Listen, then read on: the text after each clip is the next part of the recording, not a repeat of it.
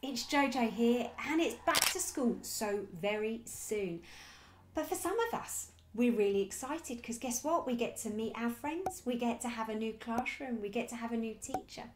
But for some of us, we might be feeling a little bit nervous. Now, whether you feel that in your tummy, in your chest, on your shoulders, your head, your kind of your fists, it's completely natural. But Jojo's got some top tips to help you make sure that we settle into that new school year, to that new class as smoothly as possible. You know, when we're feeling really excited because we can't wait for something to happen and we're just excited. And there's also that feeling of feeling fearful when, oh, I don't want that to happen, or where we just dread it. Well, guess what? Even though they are very different feelings, so we've got excited and fearful, and even though they are completely different, guess what?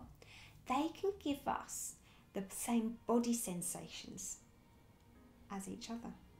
So, actually, when you think that you're feeling fearful and scared of going back to school in September, there might be a chance that you're excited too. With this whole back to school and feeling maybe a little bit nervous, shy, overwhelmed, worried, I need to remind you that it's only short term, okay? Because the more we get used to going back to school, morning routines, getting our homework done, and everything like that, the easier it will become. So, guess what? By you getting into the habit of doing it, will make these feelings of worry kind of disappear in time. So, here's some top tips. If you're starting at a new school, what I'd love for you to do before you actually have your first day is I would love for you to practice your journey. I'd love for you to practice your journey so then you know how you're getting to school, how long it might take for you to walk to school if you're older. My next top tip is I don't want you to bottle up your feelings, okay? It's really important that instead of you getting um, in spiky, fizzy moods, I want us to talk about our feelings.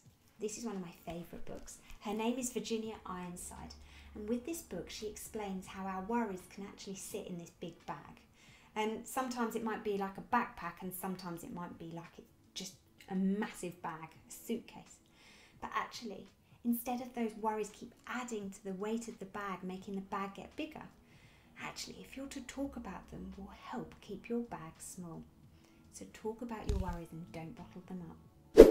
My next top tip is when you are feeling maybe look a bit worried or teary or nervous, I want you to remember that these are all natural feelings, okay?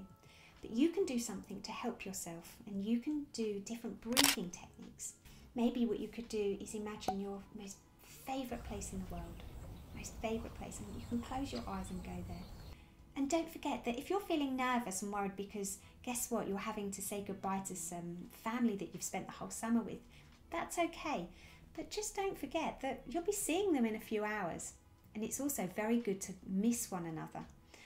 And maybe what you could do is you could share something. So maybe you could go and collect a stone. And then you look after the stone during the day at school. And then together you look after the stone outside. And with that, you can share it. Or maybe draw a love heart secretly on your body with that parent, that carer. And maybe when you're doing it, you can get a hug. And then when you've got that hug, if you're going to school and you're feeling sad, which is okay because we're going to feel sad, we just look at it might need to press it and then we can imagine getting that hug. Don't worry, we're going to get through this together, but I just need you to carry on being you, being brave, and being amazing. And guess what? I'll see you soon. Bye, everybody.